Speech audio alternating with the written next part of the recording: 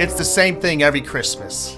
It starts out nice, your mother decorates the place, puts out the Holy Family, then I spend a small fortune on these gifts. Does anyone appreciate these gifts? No. Pop, that's not true. You arguing with me? Oh, Maran. Antoinette, what about that beautiful sweater I got you last year? Do you guys see her wearing that sweater? Don't yell at her. Who's yelling? You see yelling? You see yelling? Who's yelling? You never bought me a sweater. It was crap. Hey, and I bought you every doll in the Marie Osmond collection. Ugh, with this again? I told you I hate dolls. I already ordered the 2012 edition. It's beautiful. She said she hates dolls. And you, I've been to your house. Where's that limited edition model of the Colosseum I got you?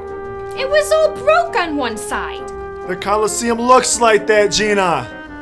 And how's about that Escalade I bought your cousin Tony? Do you ever see him driving it? No. We buried him in it, remember?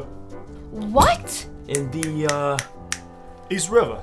My dry cleaning was in that car. God rest his soul. You see what I mean? A perfectly good waste of a Christmas gift. So what if this Christmas we just gave our our time or something? You owe somebody a favor, Johnny? Who is it? Big Al? Vito? Carmine? No, I mean like, you know, help someone. Nothing in it for us, just charity.